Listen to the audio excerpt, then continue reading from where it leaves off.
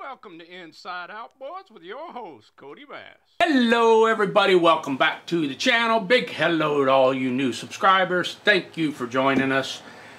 And uh, hopefully you'll find some information on here helpful.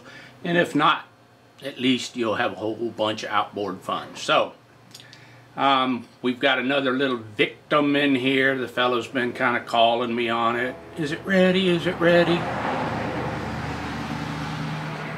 No, it's not ready. So, we're going to take a look at it, do a quick facts check, and hopefully it's just uh, maybe a dirty carb. Who knows? Um, might not have spark. We'll have to see. It was loaned from a friend to a friend to a friend who said he tried to start it, tried to start it, couldn't get it started. So, could be something as simple as just a dried up carburetor that needs to be popped back to life. And uh, the engine in questiones, you'll understand us, is a little Evinrude about a 1979-80 9.9. So, let's take a look at this victim. Hmm. There it is. Right there. Little 9.9, .9, so let's get the hood off of this guy. And see what it looks like.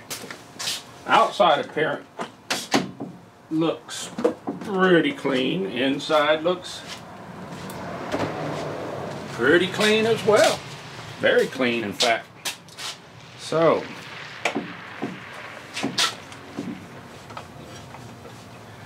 so let's get a spark checker, a compression gauge hooked up, and I'll be right back. Okay. I got the compression tester hooked to the bottom. We are on zero. Spark checker, watch these top two again.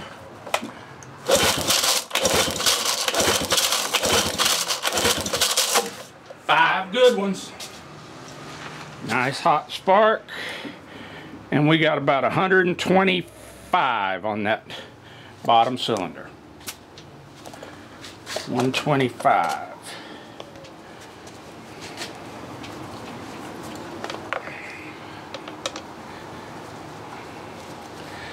You know, it could have been just something they had a bad gas connector. You never know.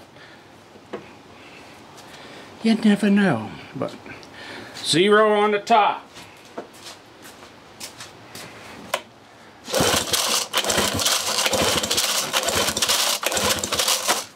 Five good ones. We got one, 25, about 132 on the top.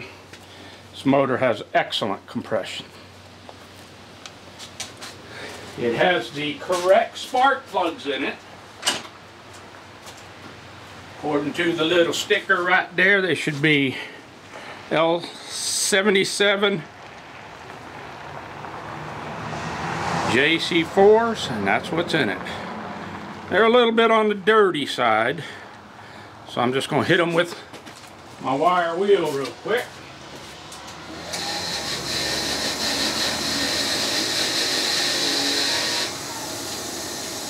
I'm going to go ahead and give each cylinder a little shot of tri-flow.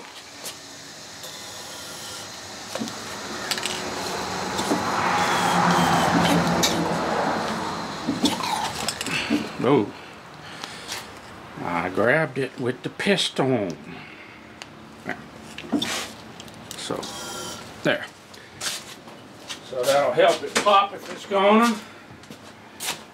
I'll get these plugs back in and get it hooked up and put in a tank. I'll be back. Okay, I went and got my gas jug, topped it off, and uh, did the facts check on it. Let's see what we get. I'm not going to choke it because I sprayed Tri-Flow in the cylinders. If it don't fire, then I'll choke it.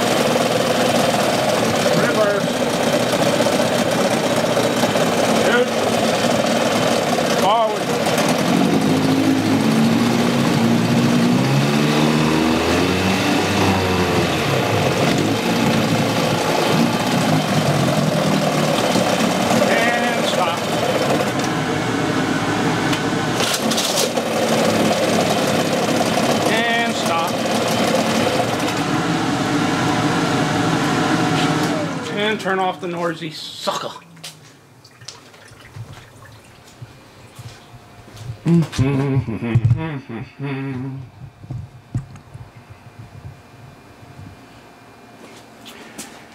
Well, well, well, well, well, well, well, well, well. That's about what I expected off of this motor. I'm guessing when they tried to start it, they had either a bad fuel hose, bad fuel connector, um, possibly even bad fuel.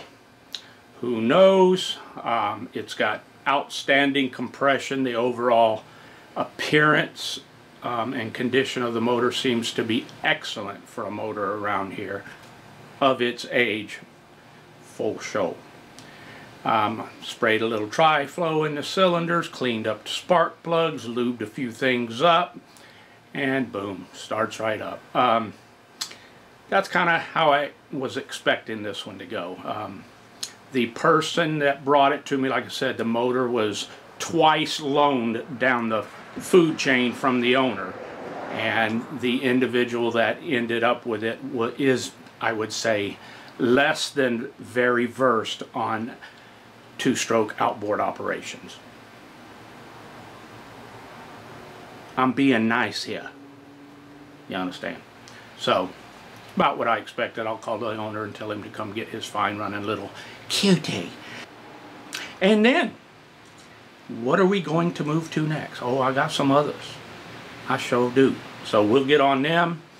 And uh, don't know exactly what that's going to be yet. So stick around and let's find out. I'll be right back.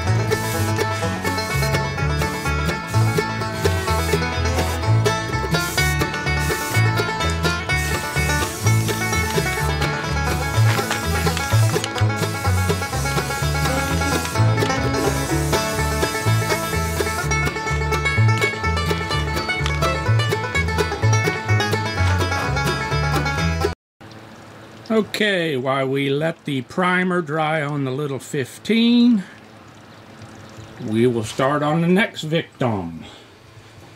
This guy's called me a couple times, is it ready, is it ready? He got it free. It's a 35 Evinrude. If I can see the tag. It's a 19 and 76 looks to be. And it looks like it's been sitting for a long time. So I got my Sparky checker half hooked up. There's one. And there's two.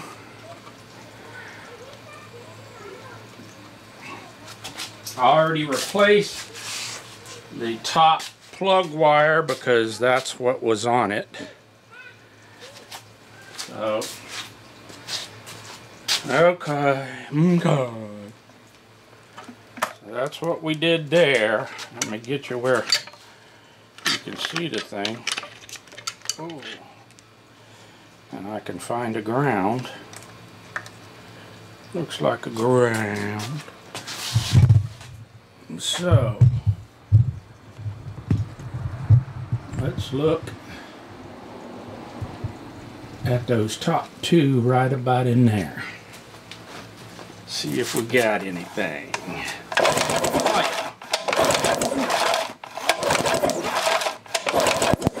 We got Hot Sparky 1 and 2. Let's look at some compressiones.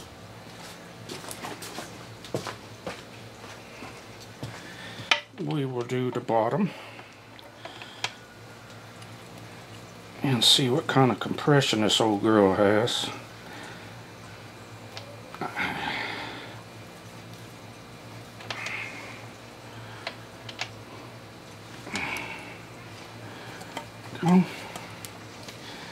Yeah, she looks a little bit. I see some spider webs and whatnot in there. We are on to zero.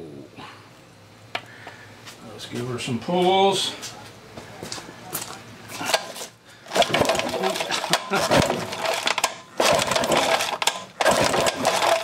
Four is going to be enough on that guy. And we are looking at about 110 on the bottom. It felt like it had some compression in that cylinder.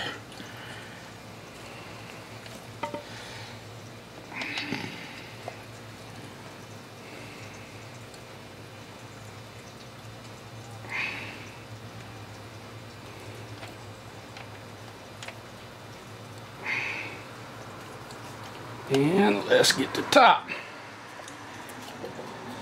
We are on the zero. Let's do that again.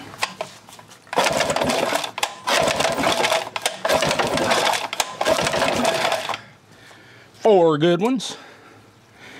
And we are at, oh, about 116. So she's got some good compressiones in there. Now, we got the compression and we got the spark.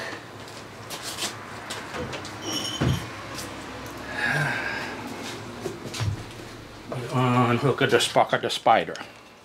One thing I also noticed, I dipped it down in my tank last night and let it set in there because all the seals and whatnot for the shift is really tight. You can see, hopefully I got some vice grips on that shift handle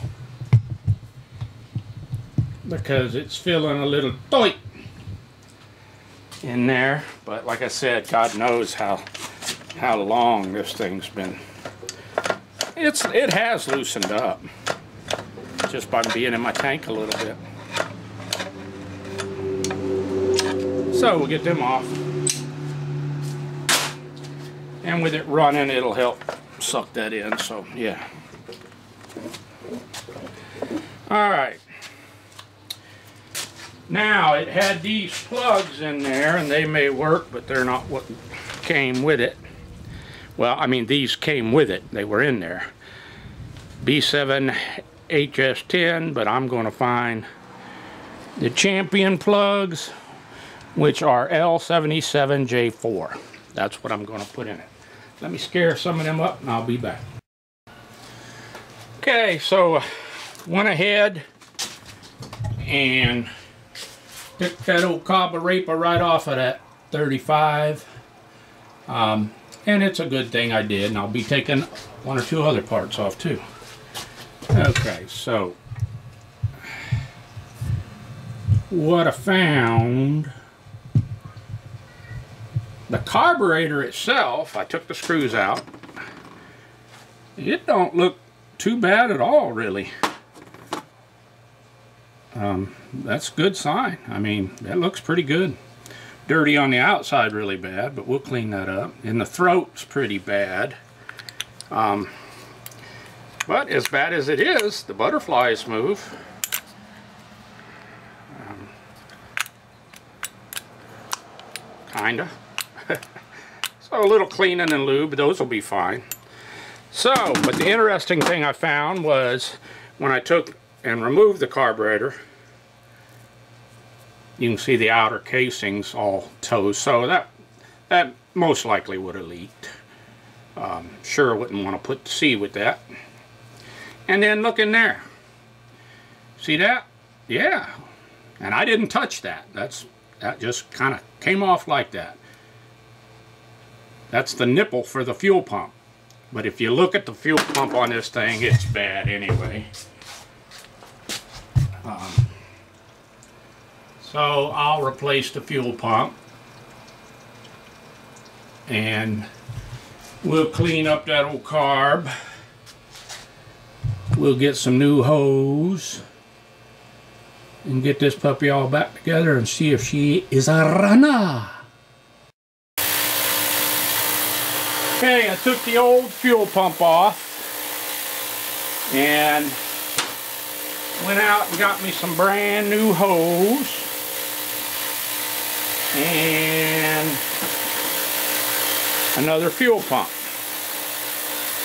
Now, I know that my ultrasonic cleaner is being a little noisy, but I'm going to show you a test, a quick test you can do on these fuel pumps. And they should work like this. You take and you blow in the tube and then suck on the tube. I can blow, but I can't suck air through, okay? Then you go to the other one. I cannot blow, but I can suck air through. The old suck and blow test. Hey, that's how you can quickly check to see for the most part if one of these OMC types is at least the innards are correct in there. So do that little quick. I tested a couple out there and I could not do that, so I just left them and I grabbed this one. So that's that. So we'll get that on. I'll get the carburetor out in a minute. Okay, so I got the carburetor out of the ultrasonic cleaner, cleaned up real nice. Same with the bowl. But even though I had it in the ultrasonic cleaner, I'm going to take my old guitar strings and right in the bottom of the bowl you go through the front where the drain plug is. And you make sure that that wire feeds all the way through that brass jet, that's your high jet in there. Make sure you can see that wire. I don't know if you can see it there. But I can see it wiggly, wiggly, squeaky, squeaky, wiggly, wiggly. Make sure that's open. If you got compressed air, psh, psh, spray it out with compressed air. Inside came out really nice, really clean, but still the same thing. Take my little wires, clean, just make sure everything, all these little pockets and stuff are clean. And especially the pickup. Make sure those are all good and clean. Squeaky, squeaky. Spray a little spray can, rattle can, carb cleaner in there. Okay. Over here, I went and got a different, not new, but different fuel pump that's much later model in better shape for sure. New hoses. I had to put a new quick connect. There wasn't even one there. It was gone. But that hose, if you're replacing one hose, if it's got cracks in it and everything, chances are the rest of them are bad too. So replace them. Here's this, the other hose that came off that comes from the quick connect to the fuel pump. This stuff's just rotten, just peeling off rotten. If you're replacing one, you find one bad one, chances are they're all bad. So get them out Alright, the carburetor's all cleaned up. Let me get it uh, buttoned up. I'll spray some Tri-Flow as I figure out what I did with it in there and uh, lube that all up. And uh, as soon as I find it. And we'll get that buttoned up and back on. I'll be back. Okay, I took my little drill and I drilled some small holes right there and one above it. Then I came into here, drilled another one right in that zerk that was all plugged up and I opened that up bigger and then I came in from right up under here and did the same thing, a hole on each side. Because the throttle would barely move. It was all, and then I took a pair of nice big vice grips and now I've got it where it's nice and loose. But uh, it was all stiff and everything, so got it back together. Let me uh, get it in the tank and we'll see if it'll fire up. Okay, I'm taking the salmon out of the dry box. They've got a nice seal or whatever it's called. They get, once you dry them, they get this nice sticky layer. And then we'll put them in the smoke cup. Now you can see the old smoker just doing its thing. After they smoke for about three hours, I'll check them. The heat source is in the bottom box. and there's a pipe that runs up between the two so that that top box only gets about 100 and say 75 degrees. Alrighty. She's a smoking.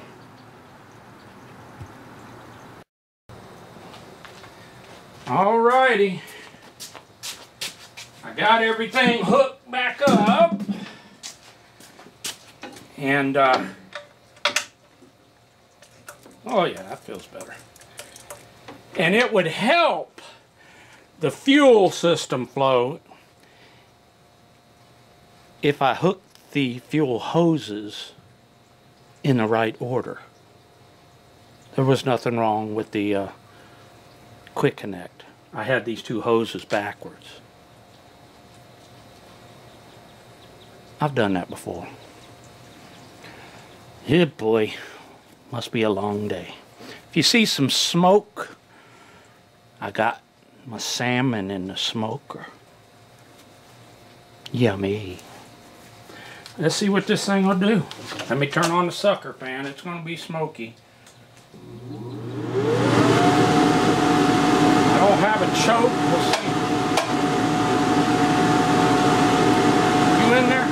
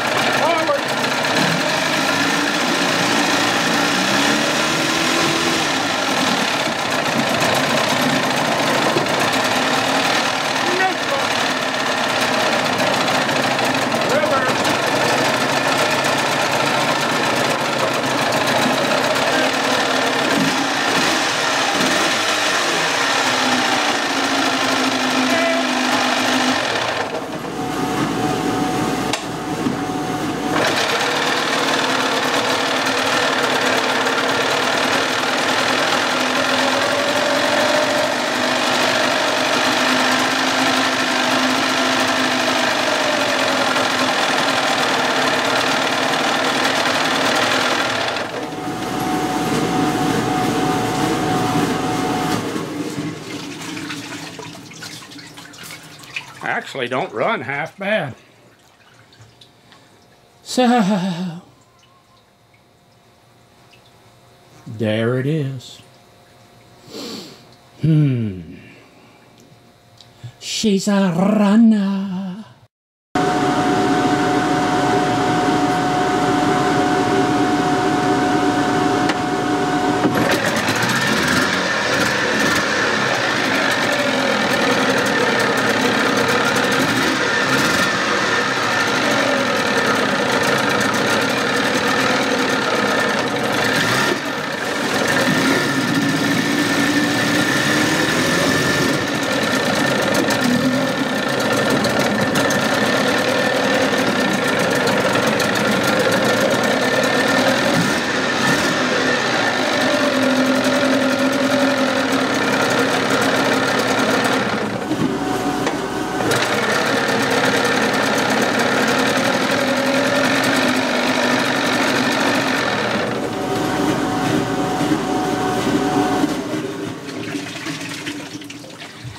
Alrighty, that one's ready to go to work. This one's ready to go to work. Do you remember the little nine, no, 15? That's uh, the fella is coming up from Idaho. Well, I painted it up after I primed it. And now I couldn't find any of that goofy blue that Evinrude's using these days.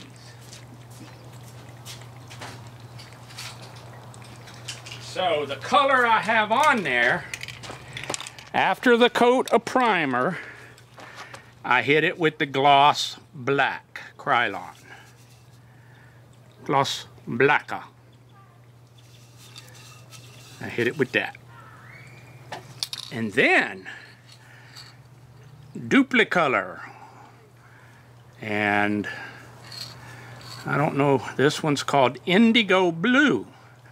So what I do is I put the gloss black on over the primer. Then I put a thin coat of this Dupli-Color indigo blue. And it gets pretty close um, it looks pretty good. It's a nice dark, dark blue that way, and that's the way these motors came. And uh, and you say, well, why don't you just find the right paint, what Evinrude makes, and put on it? Because any and all paint that comes to Kodiak Island has to come hazmat. So it's cheaper for me, way cheaper, to buy what's available. And that looks pretty good and it'll do what paint is supposed to do, which is protect it. So this little cutie is ready to go to work. I think it came out pretty good.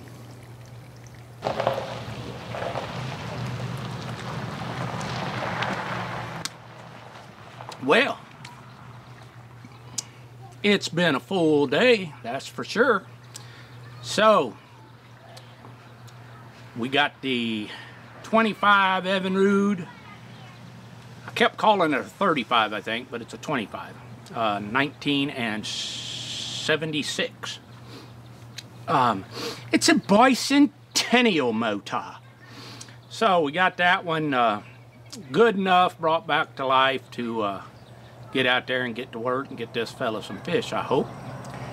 And we got the little 50 Keen Evan Road. Uh, we took that one a long way and it's ready to go on a fishing, hunting, whatever trip it's going to the south end of the island when the fella gets up here. So that one's all squared away. And uh, so we got some fish in the smoker. We got some fish in the freezer. And looks like I got some berries, some raspberries and currant berries I need to pick. So while I got a little daylight left, I'm gonna call this one a wrap. As always, that's one more hack from Kodiak. Thank you for watching. More vids are a coming on Inside Outboards with your host, Cody Bass.